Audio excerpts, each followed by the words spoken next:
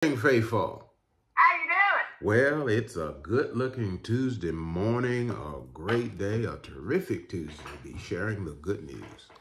It is. It is a great day on purpose, and I'm going to tell you why. But right now, here he is, the one and only.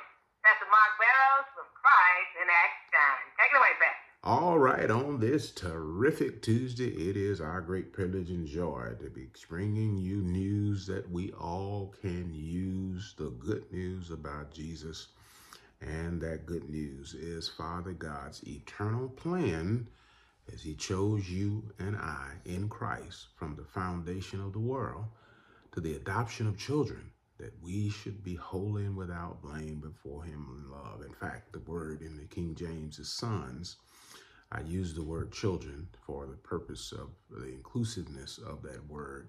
However, the use of the word sons is not a gender preference or put down, but it really, whenever you see sons in the new covenant in the scripture, understand that he's talking about that we are given in Christ a standing just as Christ is that we become as he is new creatures in Christ. Old things pass away, all things become new as we accept our Lord Jesus Christ.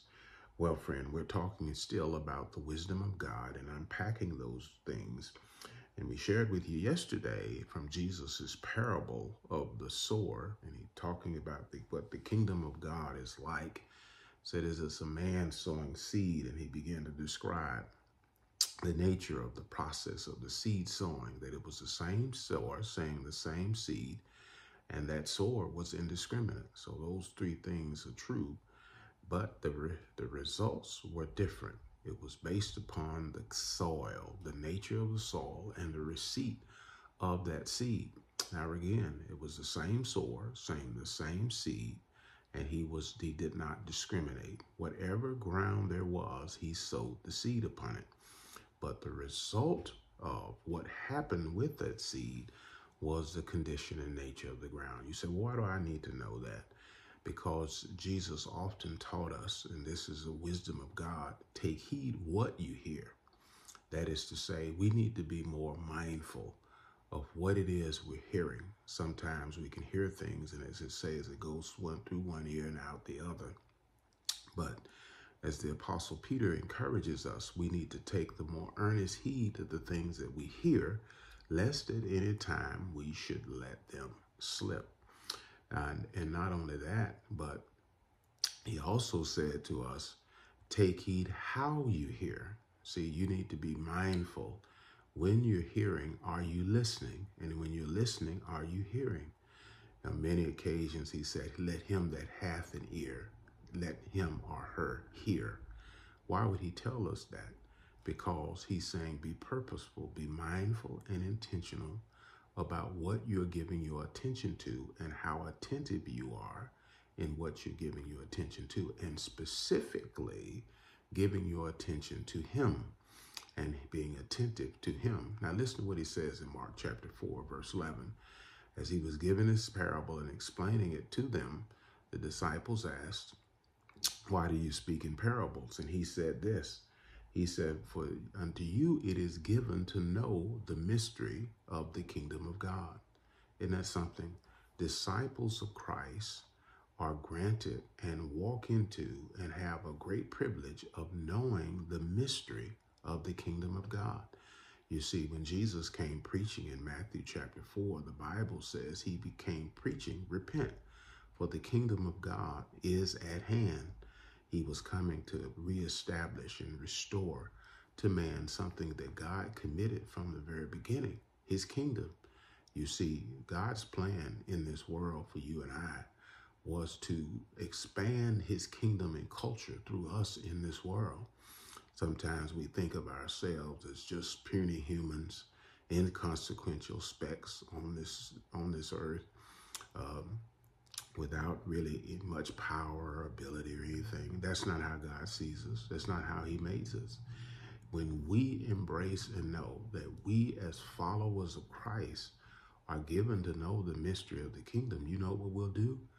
We'll do what he said in Matthew chapter 6, verse 33. We'll seek first the kingdom because there is no higher order for life and living than the kingdom of God. We'll put everything in the context of the kingdom of God and we'll follow and pursue and pursue and pursue and seek.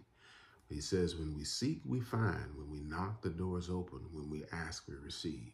What are you seeking today? What are you giving your attention to?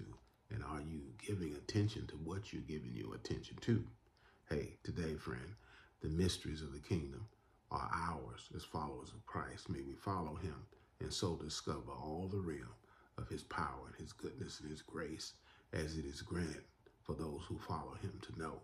This has been an outreach of Connected Church. Connect with us, connected-church.com. Follow us on Facebook, Instagram, YouTube, and of course, right here on this Gospel Explosions outreach to the Tennessee Valley and beyond every single day.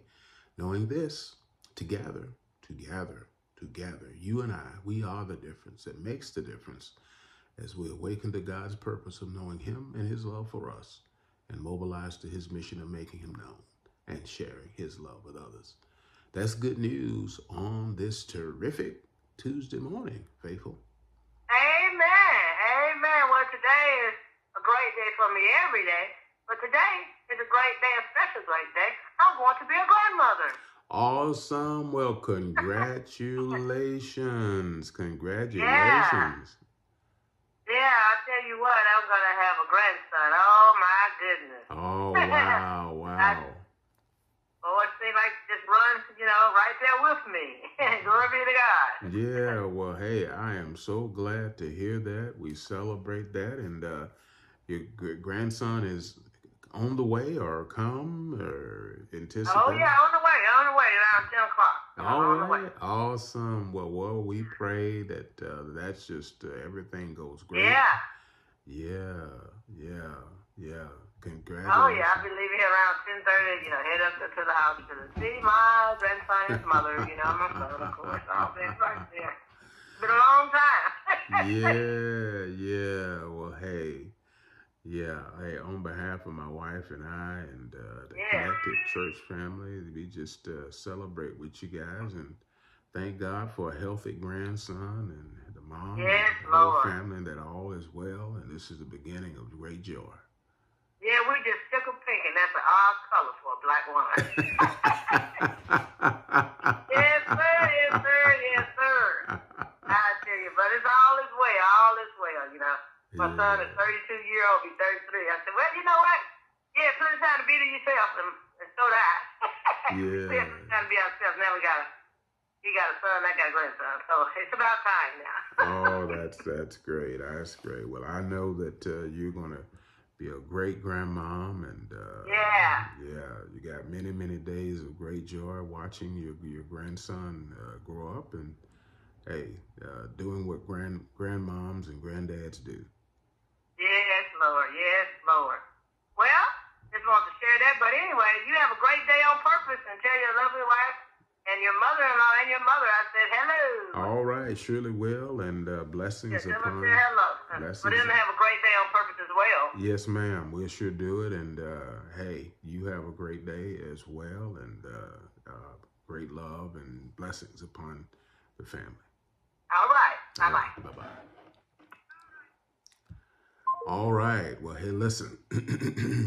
life God is the life giver. Thank God for the life that he gives for us to enjoy. Well, the kingdom of God, you know, the wisdom of God, the mysteries of God, it is given to you to know the mystery of the kingdom of God, all of the truths of God's kingdom. Um, for us to, to know it is given to us to know it. And uh, if it's given to us to know it, we want to explore and to understand uh, all of the kingdom truths. That is where the wisdom of God is. And I want to tell you this it's hidden in Christ. We're going to talk more about that and unpack that. Uh, the fear of the Lord is the beginning of wisdom, the reverence of God, the reverence of the kingdom of God, the reverence of the King, Jesus, the King who is the king in the kingdom that Father God has appointed, uh, the, the heir of all things, the one whom God has decided to invest the fullness of the Godhead bodily. It's in him And it's Him that we live and move and have our being. It is Him in us, the great mystery that is revealed, the kingdom of God in you, in us, through us. Hey, much more to say about this, but we pray that you have a terrific Tuesday uh, doing this, remembering always that God loves himself some you. We do too, that you matter to God and that you matter to us. Do have a terrific Tuesday, knowing that you're authorized to enjoy the mysteries of the kingdom, to walk Him, experience them, and living them every single day by the one who made the day and the one who made you. Have a terrific Tuesday, a terrific week. Be terrific. Share some terrificness with others.